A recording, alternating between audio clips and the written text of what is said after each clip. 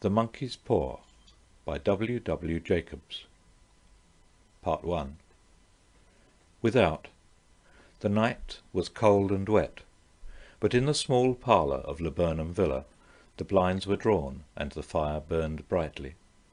Father and son were at chess, the former, who possessed ideas about the game involving radical changes, putting his king into such sharp and unnecessary perils that it even provoked comment from the white haired old lady knitting placidly by the fire.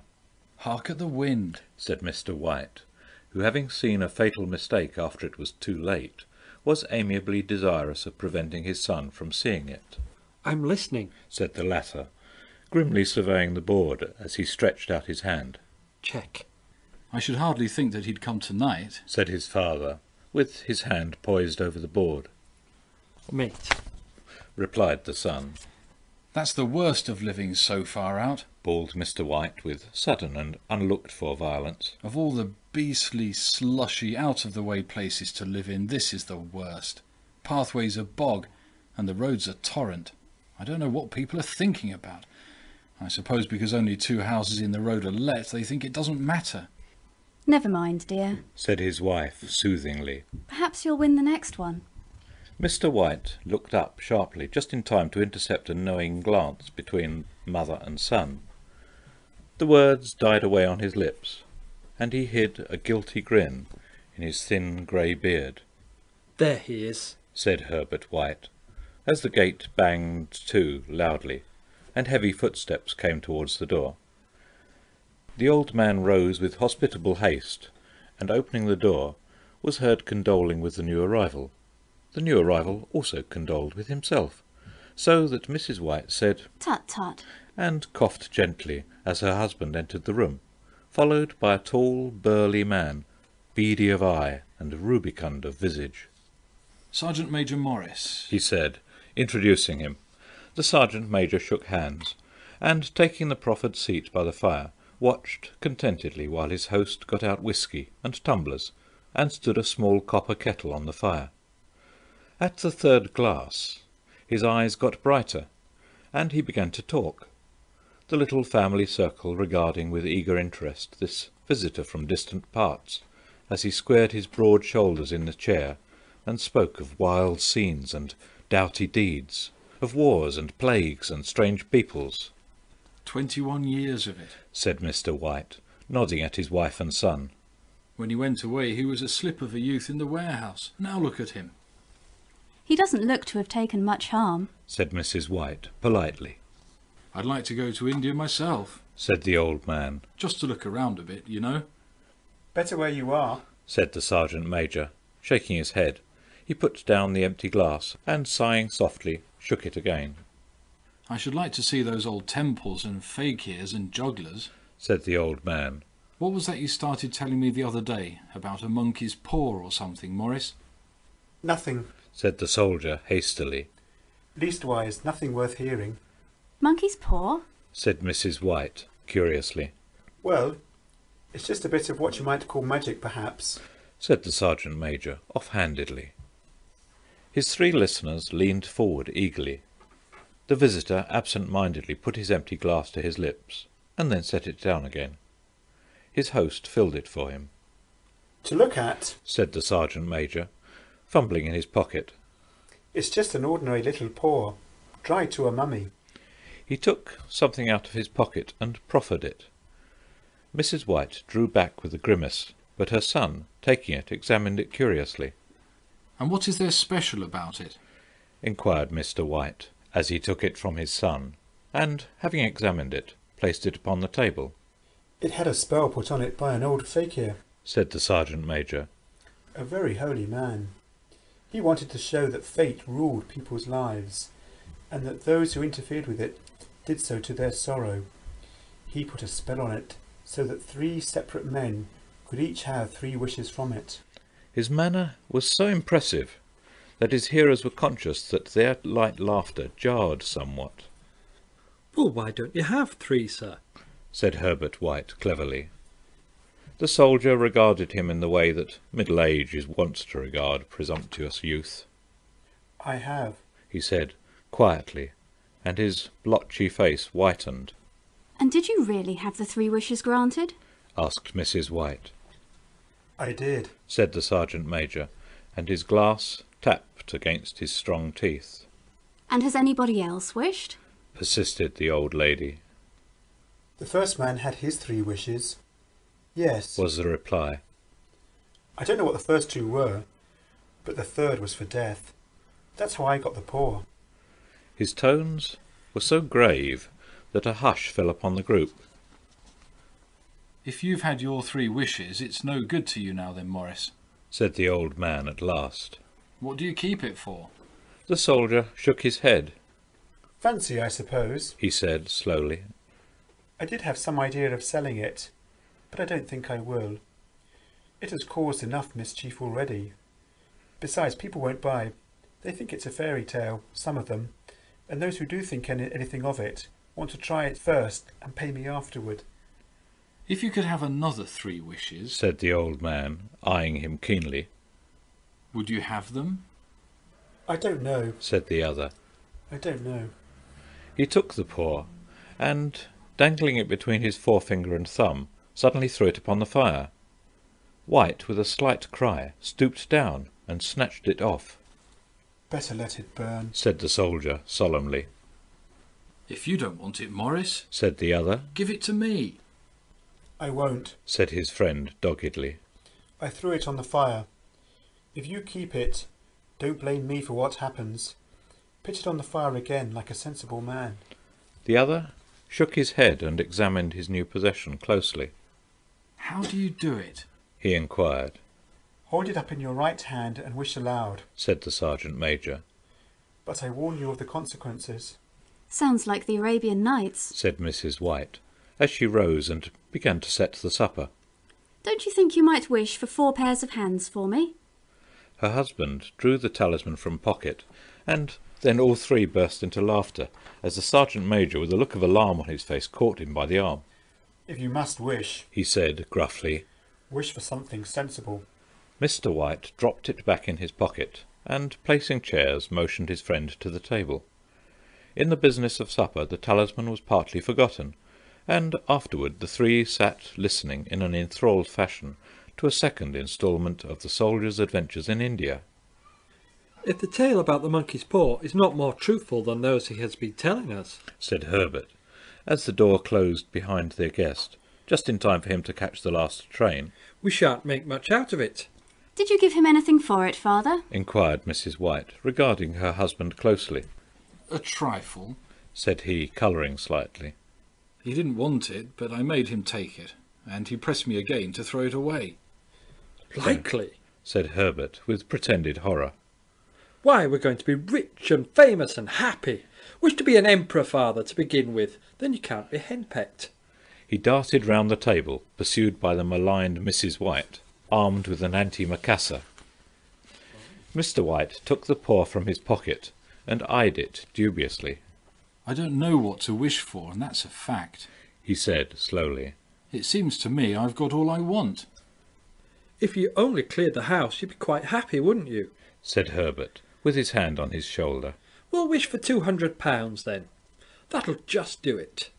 His father, smiling shamefacedly at his own credulity, held up the talisman as his son, with a solemn face, somewhat marred by a wink at his mother, sat down at the piano and struck a few impressive chords. I wish for two hundred pounds. said the old man distinctly. A fine crash from the piano greeted the words, interrupted by a shuddering cry from the old man. His wife and son ran towards him. It moved. He cried, with a glance of disgust at the object as it lay on the floor. As I wished, it twisted in my hand like a snake. Well, I don't see the money, said his son, as he picked it up and placed it on the table, and I bet I never shall. It must have been your fancy, father. said his wife, regarding him anxiously. He shook his head. Never mind, though. There's no harm done, but it gave me a shock all the same. They sat down by the fire again, while the two men finished their pipes. Outside the wind was higher than ever, and the old man started nervously at the sound of a door banging upstairs. A silence unusual and depressing settled upon all three, which lasted until the old couple rose to retire for the night. I expect you'll find the cash tied up in a big bag in the middle of your bed. said Herbert, as he bade them good night. And something horrible squatting up on top of the wardrobe watching you as you pocket your ill-gotten gains. He sat alone in the darkness, gazing at the dying fire, and seeing faces in it. The last face was so horrible and so simian that he gazed at it in amazement. It got so vivid that, with a little uneasy laugh, he felt on the table for a glass containing a little water to throw over it. His hand grasped the monkey's paw, and with a little shiver he wiped his hand on his coat and went up to bed. Part 2 In the brightness of the wintry sun next morning, as it streamed over the breakfast table, he laughed at his fears. There was an air of prosaic wholesomeness about the room which it had lacked on the previous night, and the dirty, shrivelled little paw was pitched on the sideboard with a carelessness which betokened no great belief in its virtues, I suppose all old soldiers are the same. said Mrs. White. The idea of our listening to such nonsense. How could wishes be granted in these days? And if they could, how could two hundred pounds hurt you, father? Might drop on his head from the sky. said the frivolous Herbert, Morris said the things happen so naturally said his father. that you might, if you so wished, attribute it to coincidence. Well, don't break into the money before I come back. said Herbert, as he rose from the table.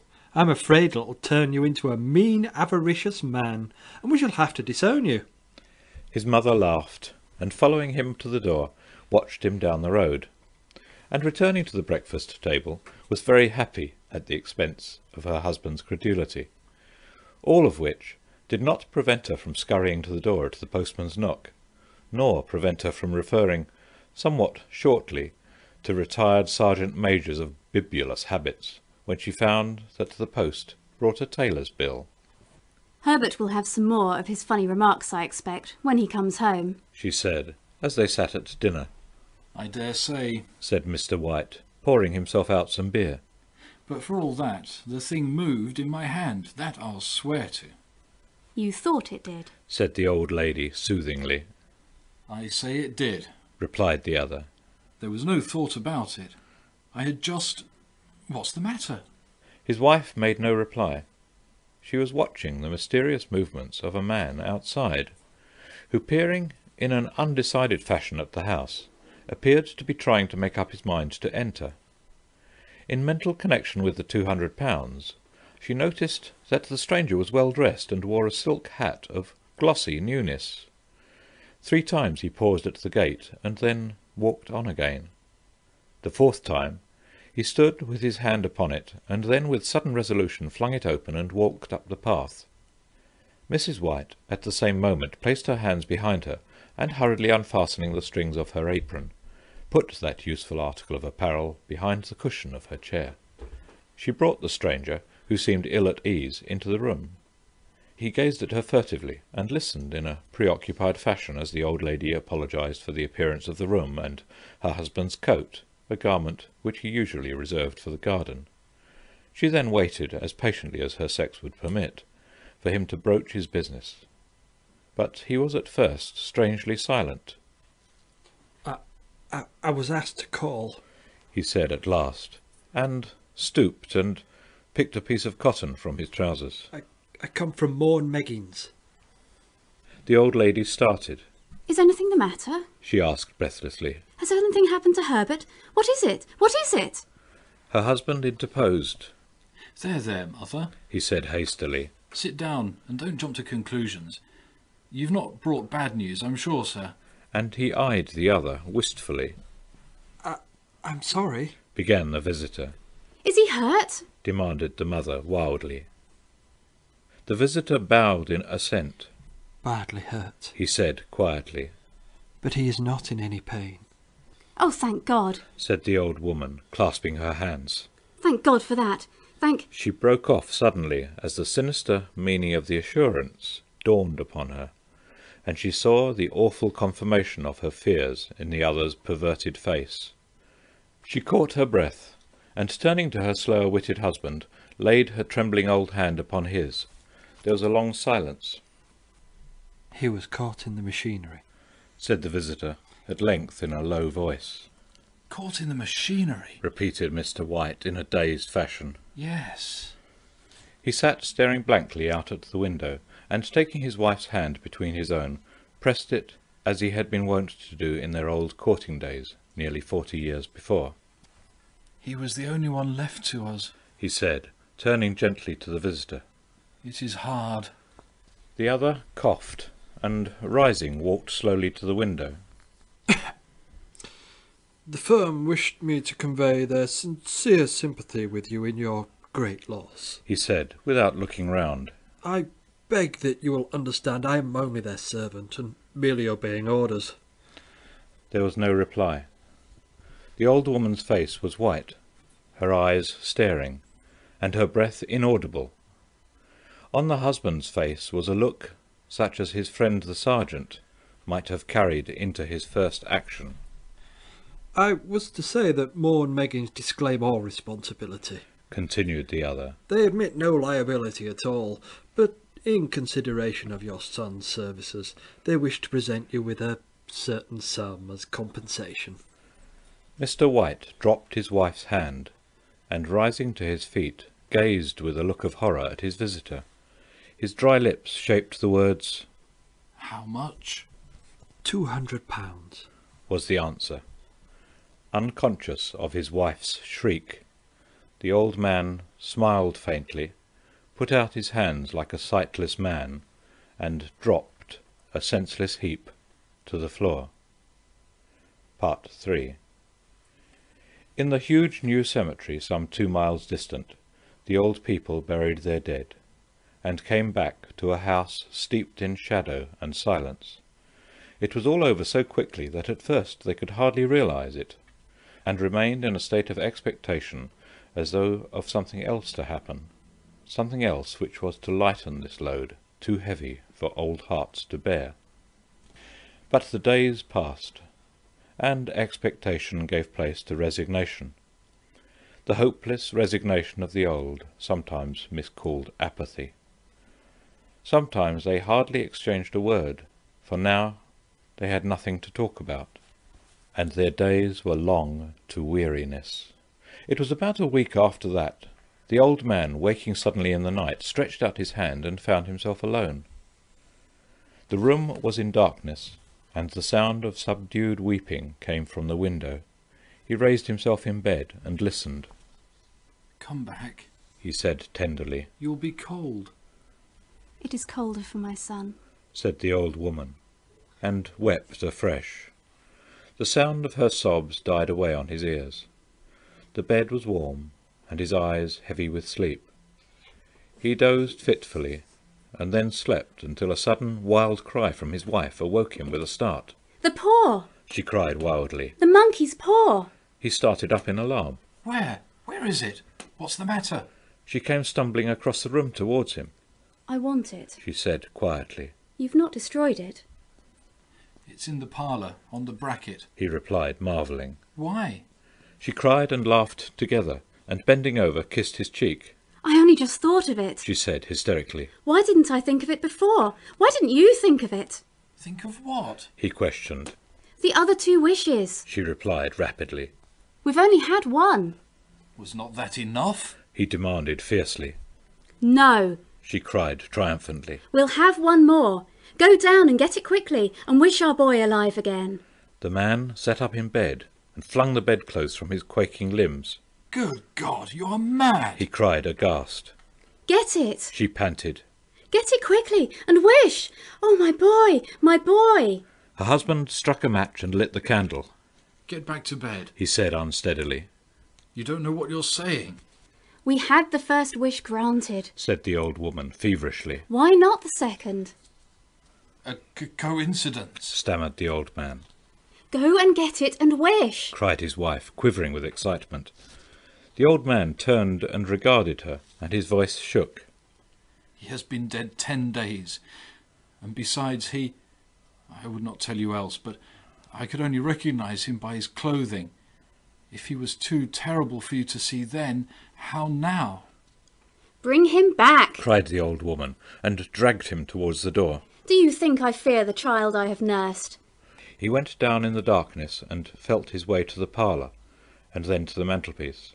The talisman was in its place, and a horrible fear that the unspoken wish might bring his mutilated son before him ere he could escape from the room seized upon him, and he caught his breath as he found that he had lost the direction of the door.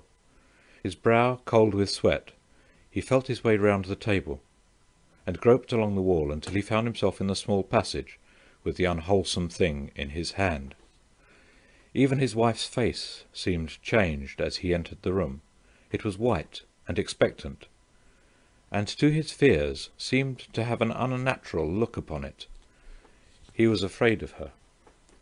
Wish. She cried in a strong voice. It is foolish and wicked. He faltered, Wish. repeated his wife. He raised his hand. I wish my son alive again. The talisman fell to the floor, and he regarded it fearfully. Then he sank trembling into a chair as the old woman with burning eyes walked to the window and raised the blind.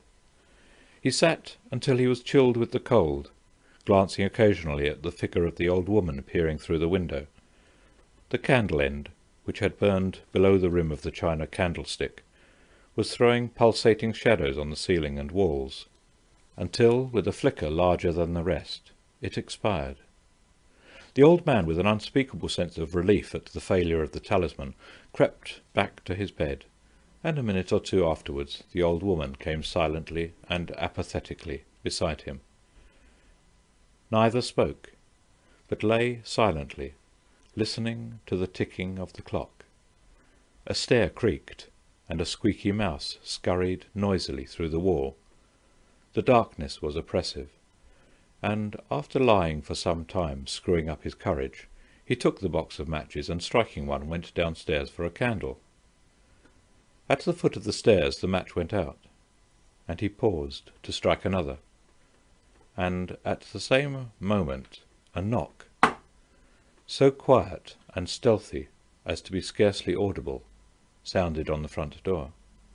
The matches fell from his hand and spilled in the passage. He stood motionless, his breath suspended until the knock was repeated. Then he turned and fled swiftly back to his room and closed the door behind him. A third knock sounded through the house.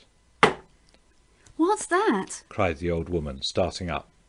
A rat. Said the old man in shaking tones. A rat. It passed me on the stairs. His wife sat up in bed, listening. A loud knock resounded through the house. It's Herbert! She screamed. It's Herbert! She ran to the door, but her husband was before her, and catching her by the arm, held her tightly. What are you going to do? He whispered hoarsely. It's my boy! It's Herbert! She cried, struggling mechanically. I forgot it was two miles away. What are you holding me for? Let go! I must open the door. For God's sake, don't let it in. cried the old man, trembling. You're afraid of your own son. She cried, struggling. Let me go! I'm coming, Herbert! I'm coming! There was another knock, and another. The old woman, with a sudden wrench, broke free and ran from the room. Her husband followed to the landing, and called after her appealingly as she hurried downstairs. He heard the chain rattle back, and the bottom bolt drawn slowly and stiffly from the socket. Then the old woman's voice, strained and panting. The bolt! She cried loudly. Come down! I can't reach it!